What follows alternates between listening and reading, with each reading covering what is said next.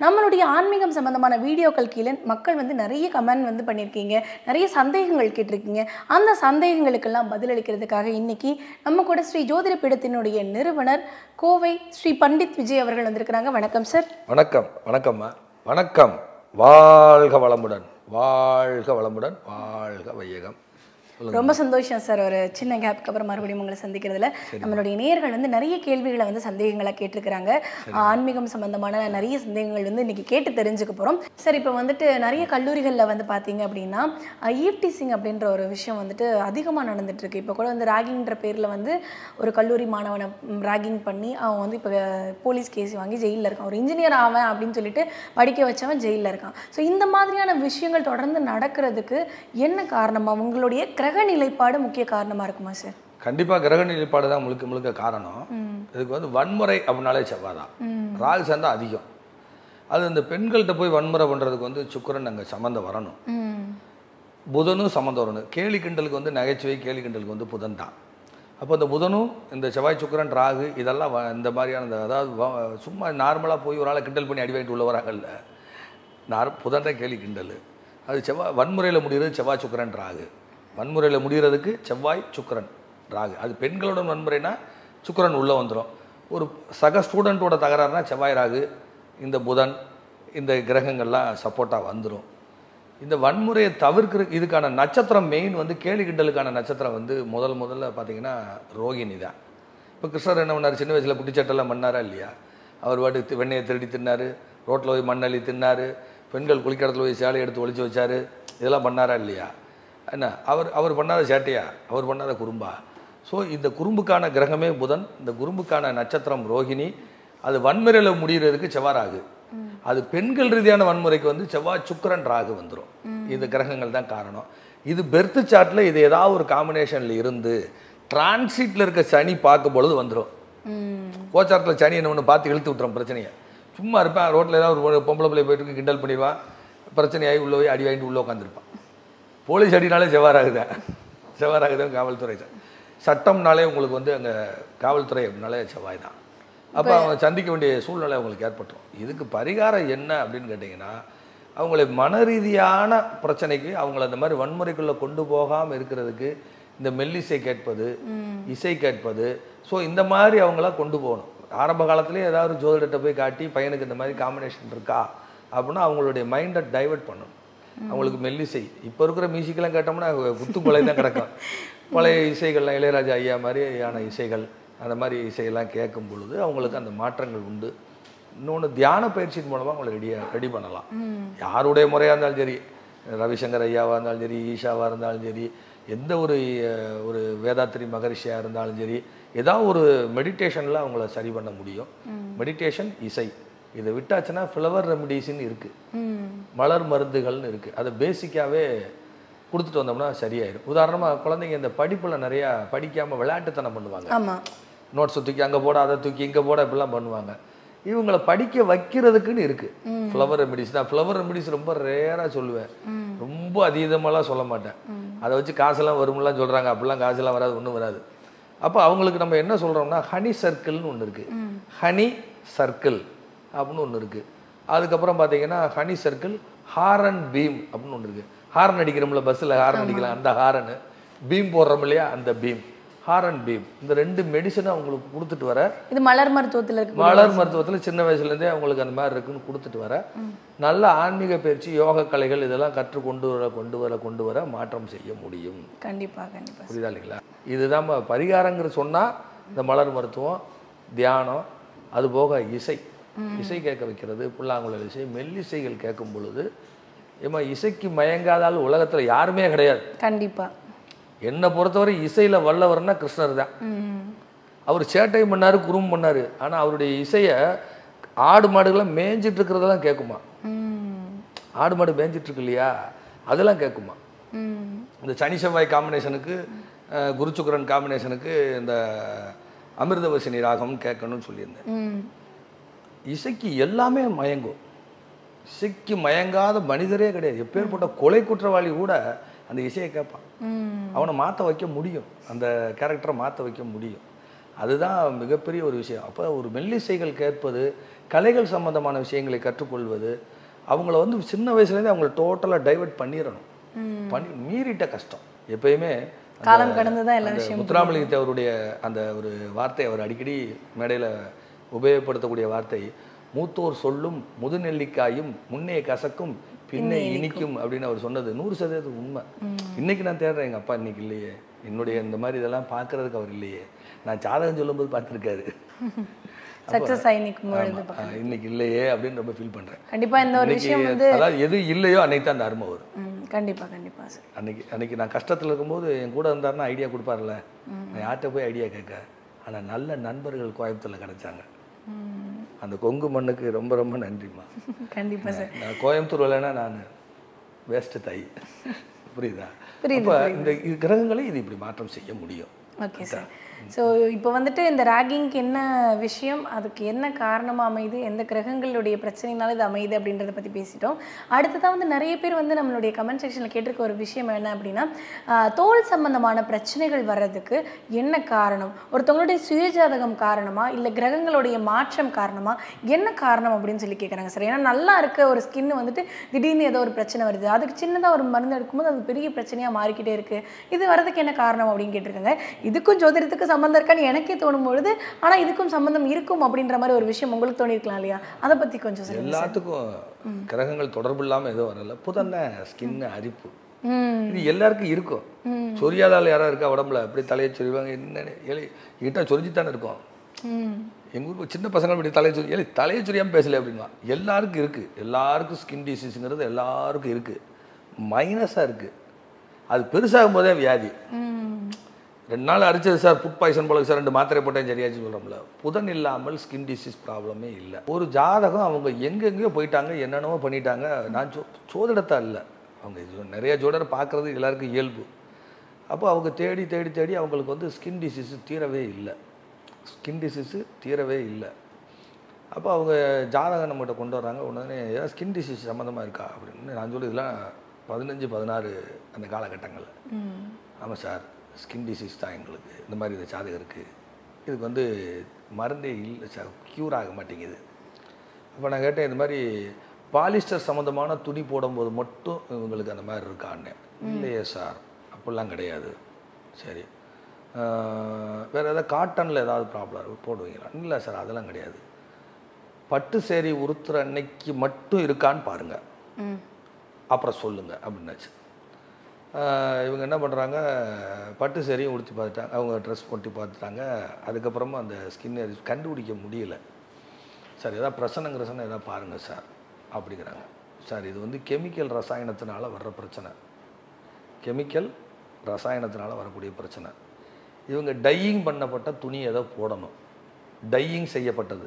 சாயப்பட்டறையில் சாயம் நினச்சி பண்ணுறாங்க இல்லையா? இது டையிங்னால வந்த ஏதோ பிரச்சனை ஏதோ கோளாறு. ஏதோ டிஷர்ட் மாதிரியோ லெகின்ஸ் மாதிரியோ இவங்க அதிகமாக வீட்டில் வீட்டில் அதான் சார் போட்டுக்கிட்டு இருக்காங்க வீட்டில் அதான் போட்டுட்டு இருக்காங்க சரி. அப்போ அதனுடைய வேதிவினை மாற்றம் தான் இவங்களுக்கு வந்து இந்த மாதிரியான ஒரு சூழல்ல அவங்க இருக்காங்க. சரி. முதல்ல இதுக்கு ஏதாவது ஒரு பரிகாரம் சொல்லுங்க உடனே இந்த மாதிரி ஹோமியோபதியில் இந்த மெடிசன் எடுங்க. இந்த மாதிரி மெடிசன் டாக்டரை போய் பாருங்கள் ஹோமியோபதியில் ஒரு டாக்டர் இருக்கார் அவர் போய் பாருங்கள் பார்த்தது மெடிசன் கொடுப்பாரு ரெக்கவரி ஆகும். இவங்களுக்கு ஹோமியோபதி தான் சக்ஸஸ் ஆகும். ஏன்னா ஆறாம் அதிபதியான புதன் அவருக்கு பேசலக்கணும் செவ்வாயுடன் சேருது செவ்வாய் தான் ஹோமியோபதி. என்ன மருந்து சாப்பிட்டான்னு ஒரு லாஜிக் இருக்குது ஆயுர்வேதம் சாப்பிட்டா குணமாகுமா சித்தா சாப்பிட்டா குணமாகுமா அலோபதி சாப்பிட்டா குணமாகுமா லாஜிக் இருக்குது இவங்களுக்கு வந்து ஹோமியோபதியில் ரெக்கவரி ஆகும். புதன் ஆறாம் அதிபதியே சூரிய செவ்வாயை போய் தொடுறாரு. செவ்வாயோட நட்சத்திரத்தில் உட்காந்து செவ்வாயை தொடுறாரு. ஹோமியோபதி டாக்டரை பாருங்கள் ஜெயச்சந்திரன் இந்த மாதிரி ஜெயராமன் ஜெகநாதன் இப்படி பேர் கொண்ட டாக்டர் யாராவது ஒருத்தர் இருப்பார் அவரை போய் பாருங்கன்னு. அப்புறம் அவர் போய் பார்த்தாங்க. பார்த்துட்டு மெடிசன் அவர்கிட்ட மெடிசன்லாம் கொடுக்குறாங்க. சரி இந்த கோயிலுக்கு போங்க அப்படின்னு சொல்லி நம்ம தென்காசி பக்கத்தில் அதாவது மதுரை திருமங்கலம் ஸ்ரீவில்லிபுத்தூர் ராஜபாளையம் ராஜபாளையம் தாண்டி சேத்தூர் சேத்தூர் சிவகிரி இதுக்கு பக்கத்தில் தேவதானம் அப்படின்னு ஒரு ஊர் இருக்குது தேவதானம் அப்படின்னு ஒரு ஊர் இருக்குது அந்த ஊரில் நச்சு ஆடை தவிர்த்த ஈஸ்வரர். நச்சாடி தவிர்த்து தீசம் இந்த கோயிலுக்கு போங்க இந்த கிழமைக்கு போங்க. ஏதாவது ஒரு ட்ரெஸ்ஸை கோயில் வாசலில் எரிச்சிட்டு போங்க.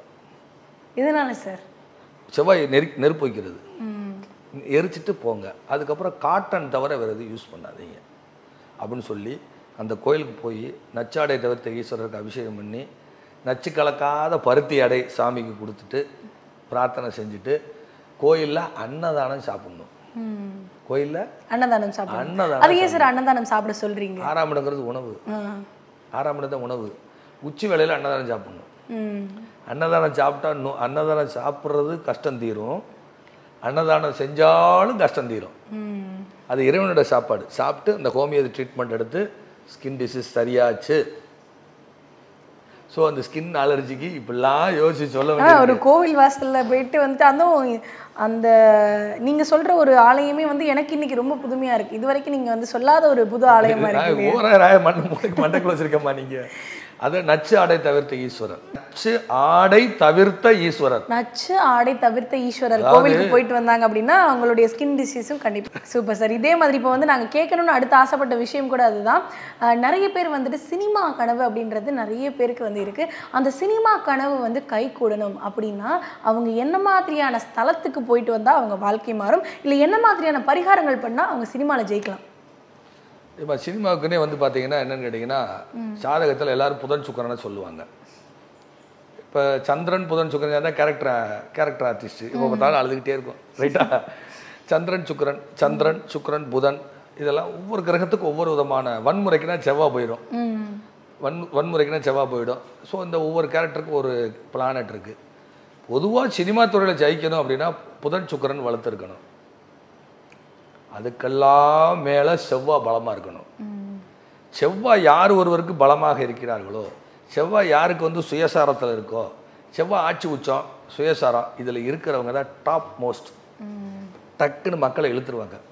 ஏன்னா செவ்வாய் தான் மேக்னெட் சனிங்கிற இரும்பை இழுத்துறதா இல்லையா? சனிங்கிற இரும்பை செவ்வாய் மேக்னெட் இழுத்துறதா இல்லையா? நீங்கள் செவ்வாய் வளர்த்தாளுக்கு பூரா சினிமாவில் டாப் ஃபஸ்ட்டுமா ம். டாப் நம்பர் ஒன்னாக இருக்காங்களா இல்லையா? விஜயகாந்த் ஐயா அவர் ஆளுதேன் கருப்பு. ஆளுதேன் கருப்பு குணத்தில் வெள்ளை ஆமா. இன்னைக்கு நிறைய வீடியோஸ்லாம் பார்க்குறோம் தான தர்மனா அள்ளி வாரி இறைச்சிருக்கிறாரு காசை. யாரும் அது மாதிரி செய்ய முடியாது. அவர் ஜாதகத்தில் செவ்வாய் பலமாக இருக்கும். பேர்லேயே காந்தத்தை வச்சுருக்காருப்பா. செவ்வாய் தான்ப்பா மேக்னெட்டு சூப்பர் ஸ்டார் சார். அவர் அவர் ஜாதகம் பாருங்க செவ்வாய் பலம் செவ்வாய் உச்சம். பேர்லேயே காந்தத்தை வச்சிருக்கிறாரு. இது மாதிரி எல்லாருடைய ஜாதகம் நீங்கள் எந்த பெரிய பிரபல ஆக்டர்ஸுடைய யார் ஜாதகம் எடுத்தாலும் சரி செவ்வாய் பலமாக இருக்க வேண்டும். செவ்வாய் பலமாக இருக்கிறதுக்கு அவங்க என்ன பண்ணணும் சார் செவ்வாய் பலமாக இருக்கிறதுக்குன்னா பிறந்தவரன் இறைவன்ட்ட போய் வர வாங்கி. புதுசா பிறந்தா வரணும் என்ன பரிகாரங்கள்லாம் இல்லைன்னா தாசில்தார்ட்ட கொடுத்து ஐயா இந்த கிரகத்தை கொஞ்சம் மாற்றி இல்ல அந்த மாதிரி ஒரு ஆப்ஷன் இருந்தா கூட நம்ம மக்களுக்கு ரொம்ப யூஸ்ஃபுல்லா இருக்கும்னு நினைப்பாங்க சார். அதனால தான் கேட்குறேன் ஓ வலுவா இல்லையா? அப்போ வலுவைக்க வலுவாக்குறதுக்கு என்ன பண்ணணும் அப்படின்ற மாதிரி யோசிப்பாங்க இல்லையா? அது மாதிரி விவியோட்ட கொடுத்து தாசில்தார்ட்ட கொடுத்து கிரகத்தை மாற்றி எழுதி கொடுங்க ஏன் சொல்ல வேண்டியது? அப்படி இல்லை. அது இருக்கணும். இதெல்லாம் மெயின் காரணம். இதெல்லாம் இருக்கணும். அவங்களுடைய தசாபுத்தி சப்போர்ட் பண்ணணும் கோச்சாரை சப்போர்ட் பண்ணணும். இதெல்லாம் நிறைய இருக்கு. சரி இவங்களுக்கான கோயில். நம்ம காஞ்சிபுரம் டவுனில் ஏகாம்பரநாதர் கோயிலுக்கு பக்கத்தில் அங்கே ஒரு எலக்ட்ரிசிட்டி இருக்குது இபியோடைய ஆஃபீஸ் அதுக்கு பக்கத்தில் பஞ்சுப்பேட்டைன்னு ஒரு இடம். அங்கே வந்து ஓண காந்த ஈஸ்வரர்.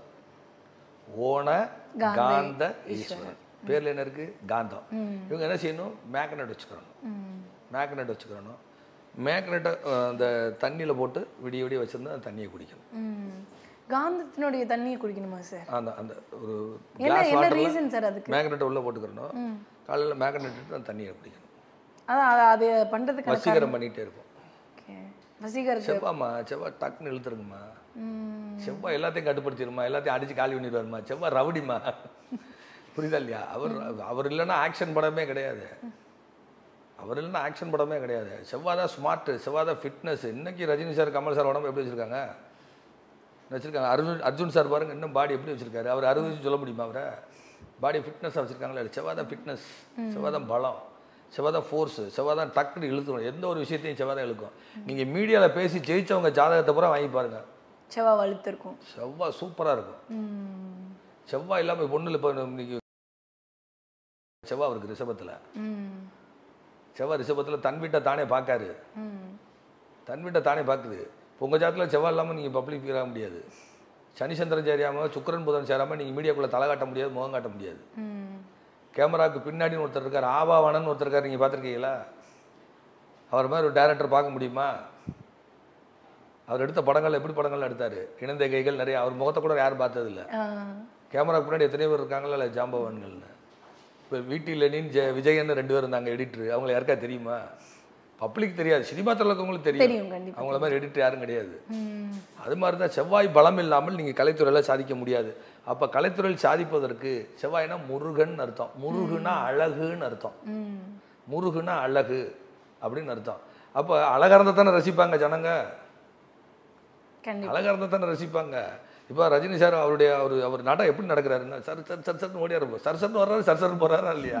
அந்த வடிவேலையா படத்தில் அவர் திடீர்னு மின்னல். மாதிரி வர மின்னல் தான் அவர் உண்மையிலேயே. அவர் விஜயகாந்த் ஐயெல்லாம் மின்னல் தான்.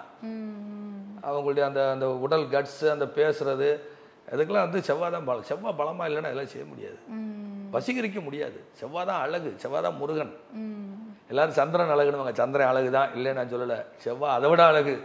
முருகப்பெருமான். ஆ முருகனோட அழகான தெய்வம் யார் இருக்கா? சொல்லுங்க. முடியுமா? அழகன் முருகனிடம் தான் நான் கேட்டேன் பாட்டே இருக்கு.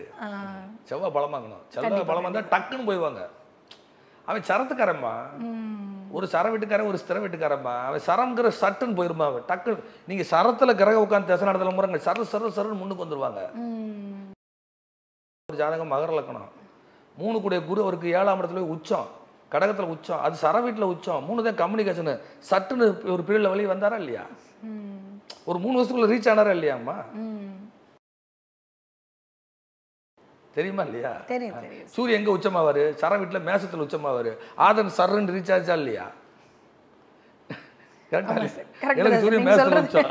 நீங்க சொல்ற எல்லா விஷயங்களும் எங்களால சரம்னா நகரக்கூடியது ஸ்திரம்னா அப்படியே இருக்கும். உயிர் இருக்கும். ஒரு ஸ்திர ராசியில் ஒரு நாள் கிரகம் கிரகம் ரசனை எடுத்துக்கிட்டு இருக்கு. ஜாத்த வேண்டியது பாட்டி ஏதாவது படுத்த படுக்கையாக கிடக்கான்னு? ஆமாம் அசையாமல் கிடக்கு அப்படியே. அசையும். ஒரு ஒரு ஜாதகத்தில் ஸ்திர ர- ஸ்திர ஸ்திரத்தில் கிரகம் உட்காந்து தசனம் எடுத்து வயசானவங்க. அப்போ அவங்களுக்கு பேரலிஸ் அட்டாக் ஆகி கிடக்காங்க.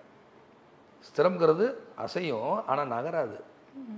சரம்ங்கிறது நகர்ந்துடும் அப்போ ஸ்திர ராசிங்கிறது ரிஷபஸ்திரம் அதுக்கப்புறம் பார்த்தீங்கன்னா சிம்மஸ்திரம் இன்னொன்று விருச்சிகஸ்திரம் இன்னொன்று கும்பஸ்திரம் இதெல்லாம் ஸ்திர வீடுகள். இதுலலாம் ஒரு கிரகம் இருந்து தசாபுத்தி நடத்தும் பொழுது பாடா படுத்தி எடுத்துருது அவங்கள. லேசுக்குள்ளே அந்த வேலை செய்ய வைக்கணும் நம்ம அப்போ அவங்க ஜாதகத்தில் அவங்களுக்கு அந்த மாதிரி இருக்குது இந்த பாட்டி படுத்து படுக்கையாக கிடக்கான்னு கேட்டேன். எப்படி சார் கரெக்டாக கேட்குறீங்கன்னாரு சார் ஸ்திரத்தில் உட்காந்து தசை நடத்திக்கிட்டு இருக்கு. பாட்டி படுத்து படுக்கையாக இருக்கும். உயிர் இருக்கும். ஆனால் அசையாமல் அசையும். ஆனால் எழுந்து நடமாட முடியாது செயல்பட முடியாது. ஆமாம் சார் அப்படித்தான் இருக்குது ஆறு வருஷமாக அப்படித்தான் இருக்குது எப்போ போகும்னு கேட்குறாரு அது போகிறப்ப தாங்க போக போகிறேன்னு அப்போ ஒரு ஜாதகத்தில் இந்த கிரகம் எங்கே இருந்தால் அது வேலை செய்யணும்னு ஒரு லாஜிக் இருக்குது இந்த செவ்வாய் வந்து முத வீடே சர வீடு தான். முத வீடே சர வீடு தான் அதில் முத வீட்டில் பழம்பரவனே செவ்வாய் தான் அப்போ செவ்வாய் இல்லாமல் எதுவும் இல்லை. அந்த செவ்வாய் பலமாக இருக்கணும் கலைத்துறைக்கு கலைத்துறைக்கு கலைத்துறைக்கு. இதுக்கு பரிகாரம் மேகனெட் வச்ச தண்ணி குடிக்கிறது. இன்னொன்று முருகனுடைய வழிபாடு செயல்பாடு சிறப்பு. நம்பர் ஒன்று Onakantha Eswarar. Onakantha Eswarar. Okay sir cinema துறையில் சாதிக்கலாம். போங்க. கண்டிப்பா போராட்டம் இல்லாமல் சாதிக்கலாம். இதில் சனியும் காம்பினேஷனுக்கான கோயில் அது. ஓனகாந்த ஈஸ்வரரையும் முருகப்பெருமானையும் கெட்டியா பிடிச்சுக்கிட்டீங்க அப்படின்னா நீங்க வந்துட்டு சினிமா துறையில சாதிக்கணும் அப்படின்னு ஆசைப்பட்டீங்கன்னா கண்டிப்பா அந்த ஆசை வந்து நிறைவேறும். ஸோ இதே மாதிரி மக்கள் கேட்கக்கூடிய நிறைய கேள்விகளுக்கு தொடர்ந்து பதில் அளிக்கிறதுக்காக சார் காத்துட்டு இருக்காங்க இதே மாதிரி இன்னொரு பதிவில் உங்களை சந்திக்கிறோம். அதுவரை உங்களிடமிருந்து விடைபெறுவது உங்கள் நர்மதா வேல்முருகன். நன்றி. நன்றி சார். வணக்கம். வாழ்க வளமுடன். வாழ்க வளமுடன். வாழ்க வையகம்.